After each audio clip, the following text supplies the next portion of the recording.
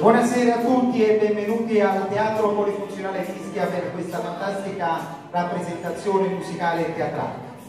Stare qui stasera significa non solo assistere ad uno spettacolo teatrale, ma assistere all'atto quinto di un percorso di crescita e vita dei protagonisti, gli alunni della quinta A dell'Istituto Comprensivo Forio 2 Donna Vallone. Il lavoro di questi ragazzi e dei loro insegnanti è il frutto di un percorso laboratoriale che ha avuto inizio già dalla classe seconda con la partecipazione al progetto nazionale delle Olimpiadi della frutta, per svilupparsi negli anni successivi con laboratori di recitazione e di cucina che hanno sviscerato nel profondo la cultura e le tradizioni della cucina ischitana e ancora di più di quella napoletana e nazionale.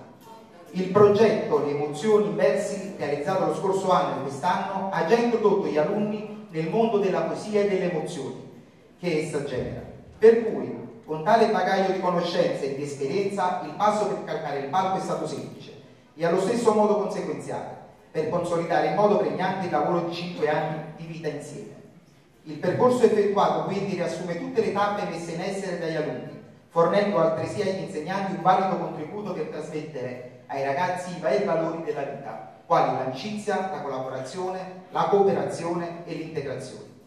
Fare teatro è stato anzitutto lavorare in gruppo, aprire canali per ascoltare se stessi e gli altri, concentrarsi insieme verso un obiettivo comune e stimolante, lo spettacolo. I ragazzi sono stati in ogni momento protagonisti, soggetti attivi e partecipi alla realizzazione di un progetto condiviso e ciò ha permesso loro di accrescere l'autonomia, mantenere alta la motivazione, permettere una maggiore conoscenza di sé, delle proprie capacità e dei propri limiti, potenziando l'autocontrollo e l'autostima per tuffarsi in un mondo fantastico che, prendeva forma attraverso non più la recitazione del singolo, ma dove il nome rappresentava il valore aggiunto al loro impegno. A questo va aggiungersi un sentito e commosso ringraziamento alla maestra Emilia Sorrentino che invito qui sul palco.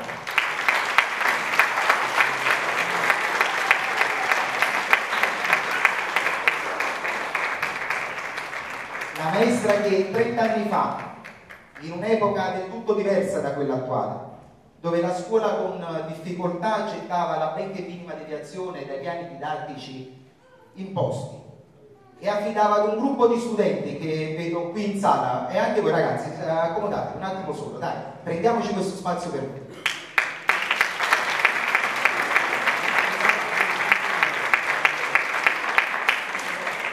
Dicevo una maestra che affidava ad un gruppo di studenti al suo primo gruppo di studenti le sorti della propria reputazione di insegnante. Una neodocente alla quale viene affidata una classe di alunni, scarti delle altre classi che all'epoca venivano eh, ritenute quelle elite, che ebbe il coraggio e anche la sfrontatezza di sfidare i canoni didattici precostituiti, di fatto affrontando la sorte. Trent'anni fa un gruppo di alunni che ancora dovevano compiere dieci anni furono portati su un palco a recitare di Filippo e Totò quando anche la sola lingua napoletana non era contemplata nei piani di studio. La maestra Emilia, che per noi fu una seconda madre, all'epoca era così e credo lo sia ancora oggi, che sopportava i nostri capricci, le nostre differenze, i nostri dubbi, mediando attraverso le paure e insicurezze che ci univano e ci dividevano, ha espresso al meglio il significato di docente. E noi ancora oggi, dopo 30 anni, non abbiamo mai, né lo faremo in futuro, osato chiamarla in altro modo se non maestra, nel senso più limpido che esprime questo termine. Lei credette in noi e fu un successo.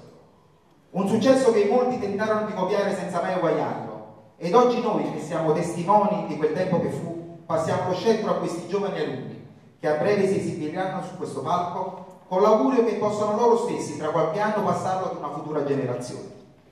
A noi della quinta E anno 1989 non resta che ringraziare colei che ha instillato nella nostra mente la convinzione che quando si vuole fare una cosa l'importante è provarci, perché solo chi non prova fallisce miseramente. E questa convinzione non ci ha mai abbandonato. Maestra, oggi come allora grazie per averci donato la tua conoscenza, che è la cosa più importante che ci possa dare.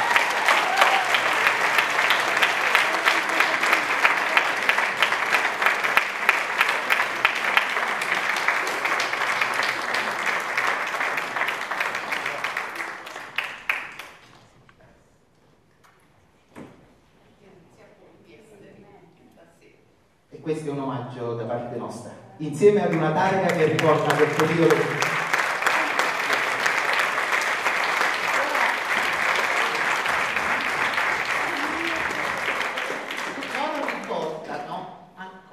che il mio colore preferito è il giallo.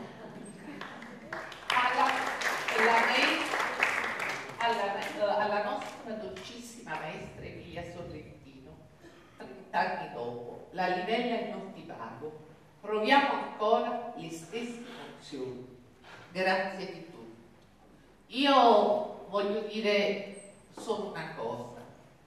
Il nostro è un mestiere che si deve fare con passione e vi assicuro che non servono. Certo, i soldi fanno piacere perché oggi aiutano, ma nessun assegno, nessun aumento di stipendio può regalare a qualsiasi altro mestiere quello che gli alunni regalano a noi maestri.